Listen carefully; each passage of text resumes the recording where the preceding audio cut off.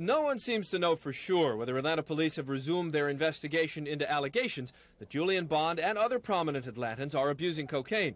But the Police Bureau's internal investigation into its own handling of the Bond affair is cranking up. That internal investigation, according to Major Eugene Robinson, will examine whether anyone in the Public Safety Department interfered with the initial inquiry and how the confidential memo detailing Mrs. Bond's allegations was leaked to reporters.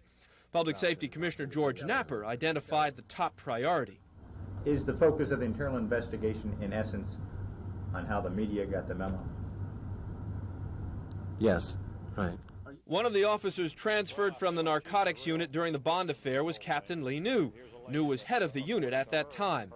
He was interviewed today by the Internal Investigations Unit about the confidential memo, how many copies were made, and who got them. But that wasn't all. Captain New spent several hours here at the Atlanta Police Bureau's Internal Investigations Unit. He delivered a chronology of his involvement with the allegations given to police by Mrs. Alice Bond about her husband and other prominent Atlantans. Channel 2 News has learned that investigators will be asking for all transfer or assignment orders for the last 12 months to or from the narcotics unit, for all correspondence, memos, notes, and orders on officers assigned to or from narcotics for all correspondence, etc., relating to the transfer or reassignment of investigators Alford and Hyde. They authored the confidential memo. And for any memo from Police Chief Morris Redding or conversations Redding had with anyone concerning the transfer or reassignment of Alford and Hyde. The deadline for that information is next Tuesday, April 21st.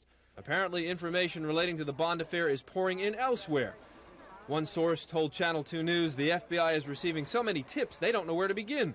That lends credence to what one federal official told me that this whole thing will not be going away anytime soon. Mark Picard, Channel 2 Action News.